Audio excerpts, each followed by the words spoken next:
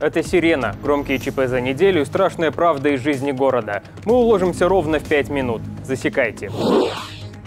Незаконный груз. Бобруйчанин пытался перевести 9 тысяч литров контрафактного спирта. Что грозит нарушителю? Лоб в лоб. Легковушки врезались на перекрестке Гоголя и Каменской. Удар с неба. В дом на заре попала молния. Что натворила стихия? И ограбление склада. В Лондоне злоумышленники украли партию самых дорогих специй в мире. Как их вычислили? Не разъехались. На перекрестке улиц Гоголя и Каменской столкнулись две легковушки. У «Шкоды» пострадало правое крыло и багажник. Досталось и «Пежо». Передняя часть автомобиля напоминает решето. Водитель первой иномарки получил легкие травмы. ГАИ разыскивает очевидцев. Обоим автомобилям причинены механические повреждения. По факту ДТП проводится проверка. Поминай, как звали. 26-летний горожанин внес предоплату за авто и исчез с дорогостоящими покупками. Ему грозит уголовная статья за мошенничество. В милицию обратились жители областного центра. Со слов пострадавших, бобруйчанин с разницей в один день ответил на объявление о продаже машин. Покупатель внес предоплату в 30%, остальную сумму предполагалось погасить рассрочкой. Продавцы согласились и заверили расписки у нотариуса. Затем мужчина бесследно исчез вместе с приобретениями. Обманутые забили тревогу, а спустя несколько месяцев пустых обещаний обратились правоохранительные органы. Оперативники выяснили, автомобили уже перепродали через интернет. Всего сообщается о 12 фактах противоправной деятельности молодого человека. По предварительным оценкам сумма ущерба 50 тысяч рублей. Подозреваемого разыскивают. Ударил милиционера при задержании. Сотрудники департамента охраны арестовали буйного вора.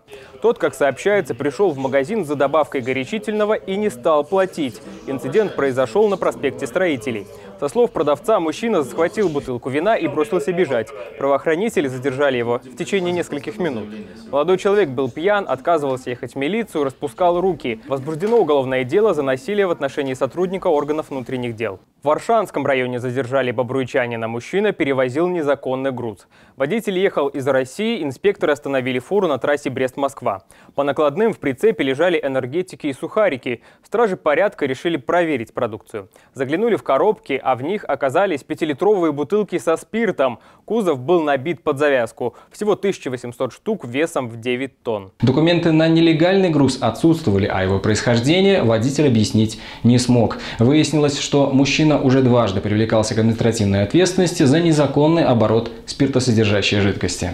Под Бобруйском утонул 63-летний пенсионер. ЧП произошло в районе деревни Большие Бортники. По информации областного освода, мужчину обнаружили на поверхности реки Алла. Он был в одежде, причина гибели устанавливается.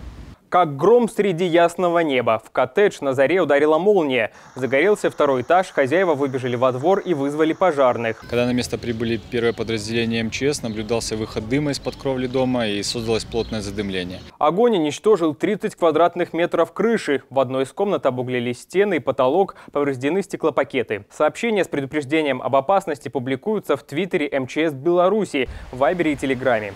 Уведомления также приходят через приложение «Помощь рядом». Во время непогоды спасатели рекомендуют выключать электроприборы, закрывать двери и окна, не пользоваться водой.